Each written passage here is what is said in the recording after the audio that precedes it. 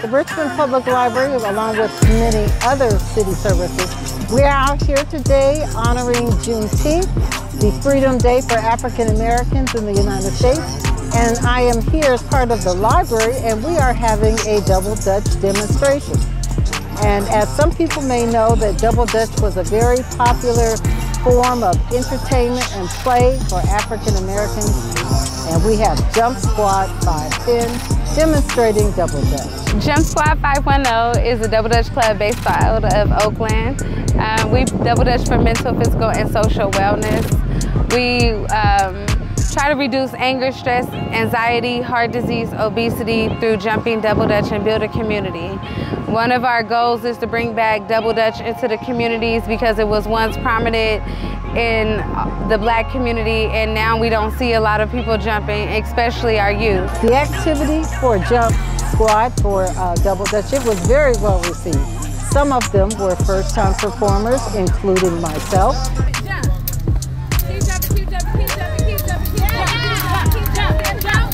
Some were uh, veterans that knew how to do different types of tricks. Um, and it was very well received. People either came to watch or to participate. So Double Dutch is one of those things that creates instant gratification. It brings joy, unity, happiness, and peace within that specific space. And so it doesn't matter what age you are, what gender you are, you're gonna wanna participate one way or another, whether you know how to jump or you don't. It's important for the library to have activities at Juneteenth and throughout the year. It's important because we need to have our community engaged, uh, educated on their history, on activities available to them free of charge, on things that will just enrich their lives. Angela from the Richmond Library is awesome.